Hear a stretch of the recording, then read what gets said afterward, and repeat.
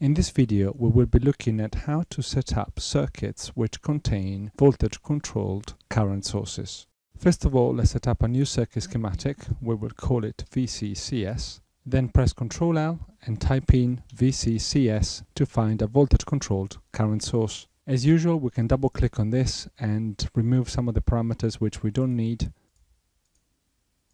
and then we have to reflect upon what values we want to give to R1 and R2 in order to turn this into an ideal source.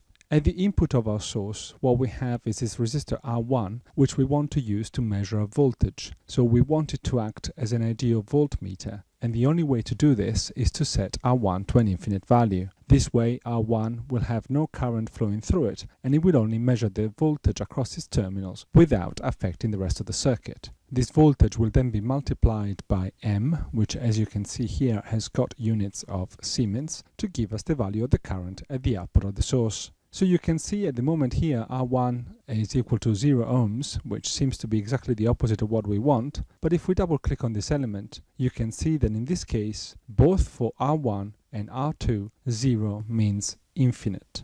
So at the input of our source, we have an infinite resistance, R1, which is what we want. We want to have an ideal voltmeter. And at the output of our source, we have a current source in parallel with an infinite resistance, R2. Because R2 is infinite, it will draw absolutely no current whatsoever. And so this is indeed, in this configuration, an ideal voltage-controlled current source. The next thing that we will do is set up the circuit shown in figure 3.56 of your book. This is associated with problem 3.7 in the problems section. So the first thing that I'll do as usual is right click and flip the current source and then I will put all the other circuit elements on the schematic.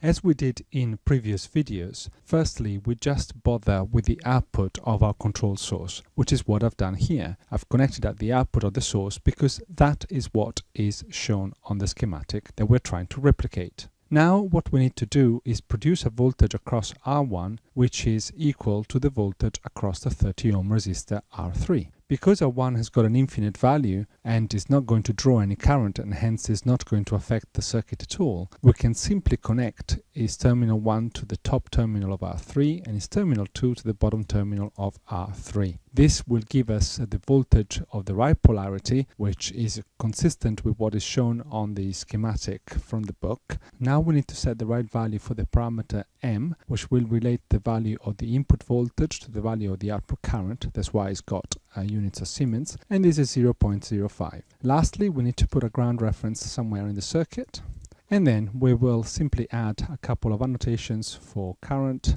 and voltage, and then we'll simulate.